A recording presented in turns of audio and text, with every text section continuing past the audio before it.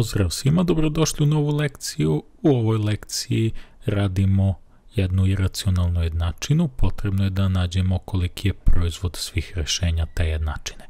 Ja ću na brzaka da je prepišem ovde. Pre nego što krenemo da radimo ovu iracionalnu jednačinu, potrebno je da vidimo koje uslove ona treba da zadovolji. Uslove koje treba da zadovolji da sve ono što se nalazi unutar korena mora da bude veće ili jednako nuli. Drugim rečima imamo pod 1 da 10 plus x mora bude veći ili jednako nuli, sad to 10 kad prebacimo sa desne strane dobijemo da x mora bude veći ili jednako od minus 10. Kod ovog drugog imamo da 5 minus x mora da bude veći ili jednako nuli, tu mogu ovo minus x da prebacim sa desne strane da mu nestane minus i ispostavlja se da je 5 veće ili jednako od x, odnosno da x manje ili jednako od 5, to sad kad opranemo. I treći uslov, da u ovom trećem korenu sve što se nalazi unutar njega mora da bude veći ili jednako od nule, dakle ovu jedinicu prebacimo tamo i dobijemo da x veći ili jednako od minus 1, koji je sad interval u kome su definisana realna rešenja ove naše jednačine, znači pod 1 x mora da bude veće ili jednako od minus 10, pod 2 x mora da bude manje ili jednako od 5 i pod 3 x mora da bude veći ili jednako od minus 1, dobro ovde nema mesta, ali nema veze. I ukupno, znači, dolazimo do tog zaključka da x nama mora da se nalazi između minus 1 i 5. Dakle, sva rešenja koja dobijemo da ne pripadaju tom skupu ćemo da odbacimo. Sad, s obzirom da imamo ovde korene, logično je da ćemo da kvadriramo da bismo te korene gubili, ali pre toga ćemo ovaj negativan koren da prebacimo sa desne strane. Znači imat ćemo da je koren iz 10 plus x jednako koren iz 1 plus x plus koren iz 5 minus x. Pošto potrebna nam je situacija da sa leve i sa desne strane nam budu pozitivni brojevi pre nego što krenemo da kvadriramo. U ovoj gornjoj načini to ne mora da bude slučaj. Jer iako je ovaj broj pozitivan i ovaj drugi pozitivan, možda se desi da ovaj broj bude veći od ovog, pa će ova leva strana biti negativna. Znači, kvadriramo, nestaju koreni, ovde će ostati samo 10 plus x, a ovde kada ovo kvadriramo, ajde radit ću postupno, to će biti kvadrat binoma. Znači, tu ćemo imati situaciju da ćemo imati prvi na kvadrat, znači koren iz 1 plus x na kvadrat, plus dvostruki prvi puta drugi, znači 2 puta koren iz 1 plus x, koren iz 5 minus x i plus ovaj drugi na kvadrat. Sad ovde nemam mesta, ali bit će 5 minus x, pa sve to na kvadrat.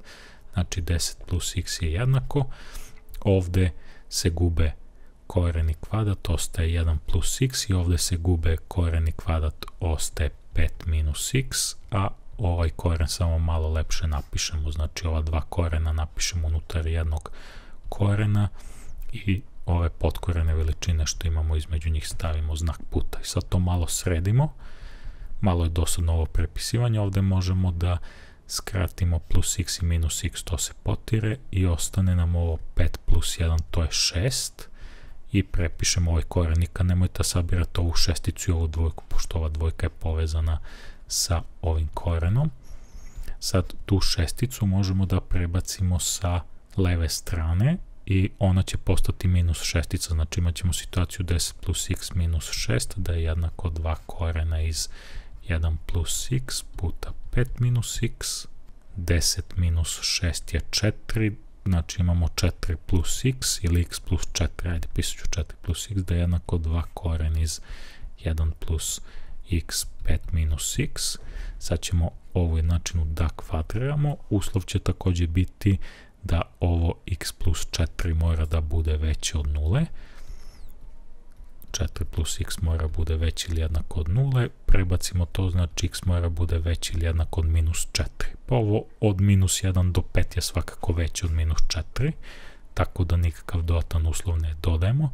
Znači imat ćemo da je 4 plus x, pa sve to na kvadrat jednako 2 koren iz 1 plus x, 5 minus x, pa sve to na kvadrat.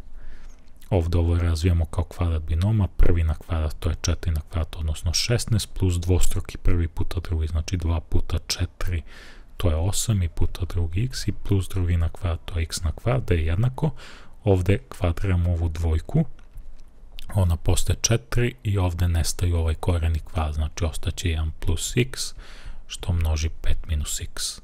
Sad je potrebno to malo da sredimo, dakle imat ćemo 16 plus 8x plus x na kvadrat je jednako 4 puta, sad ovde množimo svaki iz jedne zagrade sa svakim iz prve zagrade, 1 puta 5 je 5, 1 puta minus x je minus x, x puta 5 je plus 5x, x puta minus x je minus x na kvadrat, odnosno x na kvadrat plus 8x plus 16 je jednako, sad ovde množimo svaki sa svakim. 4 puta 5, 20, 4 puta minus x je minus 4x, 4 puta 5 je 20x i minus 4x na kvadrat.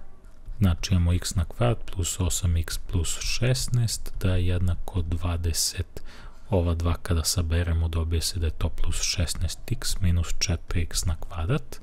Prebacujemo sve sa jedne strane, recimo sve sa leve. Ovo minus 4x na kvadrat kad prebacimo postoći 4x na kvadrat, dakle 4x na kvadrat plus x na kvadrat plus 8x, ovo plus 16 kad prebacimo postoće minus 16, plus 16 prepisujemo 20 kad prebacimo postoje minus 20, to treba da bude jednako nuli, nastavljamo ovde, 4x na kvadrat plus x na kvadrat, to je 5x na kvadrat, plus 8x minus 16x, to je minus 8x, plus 16 minus 20 je minus 4, to treba da bude jednako nuli, rešimo kvadratnu jednačinu, dakle x1, 2 jednako 8 plus minus koren iz 64 plus 4 puta 5, 20 puta 4, 80 kroz 2 puta 5, to je 10, x1, 2 jednako 8 plus minus koren iz 144 kroz 10, x1, 2 će biti 8 plus minus 12 kroz 10. Sad to razdvajamo na dva rešenja. Prvo rešenje će biti s ovim negativnim 8 minus 12 je minus 4. Znači imat ćemo minus 4 kroz 10, a drugo rešenje je 8 plus 12, to je 20, znači 20 kroz 10. x1 je, ovde možemo skratimo 4 i 10 sa 2, znači prvo rešenje je minus 2 petine, drugo rešenje je 20 kroz 10 skratimo po jednu nulu, to je 2 kroz 1, odnosno 2. Dakle, dobili smo ova dva rešenja. Minus 2 petine pripada ovom segmentu, jer je veći broj od minus 1. I takođe i dvojka pripada, jer se takođe nalazi između minus 1 i 5. Dakle, oba ova rešenja prihvatamo, potrebno je da nađemo proizvod svih tih realnih rešenja jednačine, znači x1 puta x2 je jednako minus 2 petine puta 2, x1 puta x2 jednako minus 4 petine.